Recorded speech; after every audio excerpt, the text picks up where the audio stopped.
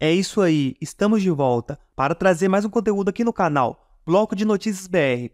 Mas antes, eu quero pedir a todos que se inscrevam no canal, deixe seu like e vamos para a notícia. A atriz Cláudia Raia usou as redes sociais nesta última segunda-feira primeiro para anunciar sua saída da TV Globo após 40 anos na emissora. A atriz vai passar a assinar com a emissora por obra, como parte da política de reestruturação da emissora, que já havia dispensado medalhões como Antônio Fagundes, Miguel Falabella, Paulo Oliveira, entre outros. A atriz já havia adiantado que se desligaria da emissora durante uma entrevista do Roda Viva em maio deste ano. Quantas histórias podem ser vividas em 40 anos? Muitas. Obrigado, TV Globo, por fazer parte da minha vida, escreveu ela em suas redes sociais. Foram tantos aprendizados, sonhos realizados, amigos e filhos que eu ganhei da teledramaturgia. Só tenho motivos para celebrar. Foram muitas conquistas pessoais e profissionais. Daqui a pouco estou de volta. Isso não é um adeus, é um até logo. Completou a artista, que recentemente fez uma participação como M em Terra e Paixão. Cláudia estava na Globo desde que fazia o quadro Vamos Malhar, no Vivo Gordo, em que acabou engatando romance com Jô Soares. Ela ficou conhecida por personagens personagens com forte veia cômica, como Dancinha, de Sassaricano,